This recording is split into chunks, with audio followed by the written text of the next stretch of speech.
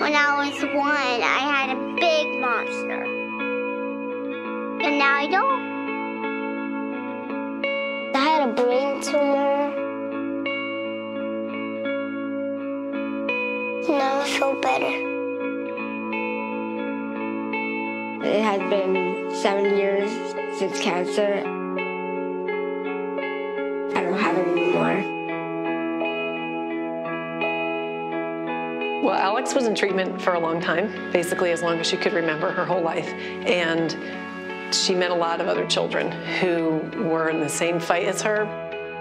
Alex came up with the idea to have a lemonade stand when she was in the hospital.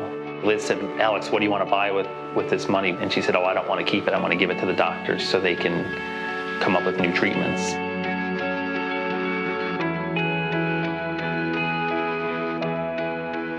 Alex was diagnosed just two days before her first birthday. You know, we had sensed for several months that something wasn't right with her. But to hear that she had neuroblastoma, which can be curable, but it can also be very deadly, was like your worst fear has, has happened, and it's really hard to comprehend. Things we learned from Alex's diagnosis and sickness was to make the most of every day, to enjoy every day, and just to live the best life that you can. I thought it was adorable that she would think she was going to have a lemonade stand and raise enough money to really make an impact uh, for other kids. And it was winter, and we lived in Connecticut, but she kept asking us for months after she got out of the hospital about setting up a lemonade stand. It took a while before we realized that what she was doing was making a difference. Her first lemonade stand, she raised $2,000. When we moved down to Philadelphia, Alex started bringing up the idea of setting up another lemonade stand. She raised $12,000 in one day. Next year, $18,000 she raised in one day in the pouring rain. And then an amazing thing started happening was we started getting letters from people that read about her or saw her on TV. And the letters would say, Alex, we saw what you were doing and we wanted to help you, so here's our, our, our check from money that we raised. It started with Alex, but then it became so much more. It's like a hub and spoke. You know, she was the hub, and all these spokes started doing things. She lived eight and a half years, but she packed a lot of living into eight and a half years.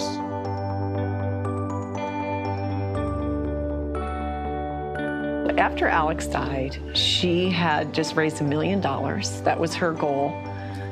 She had reached it and she passed away. Uh, I honestly thought the lemonade stand would go away. But people said, we're going to keep doing this in honor of Alex. We're going to continue what Alex started.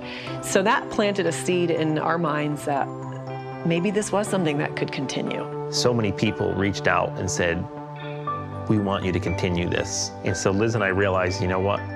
We have to continue what Alex started because we have an opportunity to help a lot of kids. And at the end of the day, I think that was her plan. She knew that she could help a lot of kids. She knew that what she was doing wasn't going to help her. I thought that this was particularly fascinating. The torch was handed by a child, uh, and it was reversed. It was handed by a child to her parents, who, uh, who took her vision. So it's a vision of a child that we're all trying to achieve here. A child who suffered and decided that this, is, this should not be the end of it. She didn't want to stop there. Alex's initial vision has carried out in helping literally thousands of, of researchers in this country uh, be able to uh, continue to perform cutting edge research. I've been in this business uh, for over 30 years, and this is, in my opinion, the worst uh, funding climate we've ever experienced. There has been a progressive decrease in the amount of money available to research childhood cancers. That's where Alex's Lemonade Stand Foundation steps in. We are funding the best research to help kids with cancer that exists. We think that's probably our most important job is making sure we're funding the right projects. We have a, a very developed grant selection process where people apply to us. Um, we have scientists review these projects and basically, at the end of the day, we fund the ones that, that score the best during this review process because we want to help the most kids with cancer that we can, and we want to help them as quick as we can. Because every year that it that it takes us, more kids are going to die waiting for that new treatment.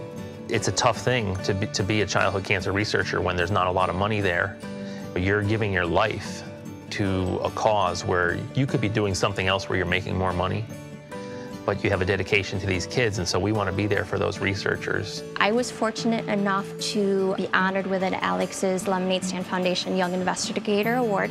It provided me two years of protected time to really get my project off the ground, to make further findings in my field, and also start to publish um, what are now seminal papers in the field as well. We would like to find targeted treatments that are less toxic to the brain, less toxic to the child, and that do not involve the skill of a surgeon. And so without funding such as Alex's Lemonade Stand Foundation, um, I don't think investigators like myself could really do the work that we do. Certainly, Alex Lemonade Stand Foundation has been one of the most successful foundations I know of. They've been enormously successful and they have had a tremendous impact throughout the country and even beyond. We're extremely fortunate. I mean, I feel so lucky. I feel like the luckiest mom in the world. Um, to have had Alex as my daughter, but to be able to continue to carry on something so meaningful that she started that's having such an impact is a gift, and I appreciate it every day.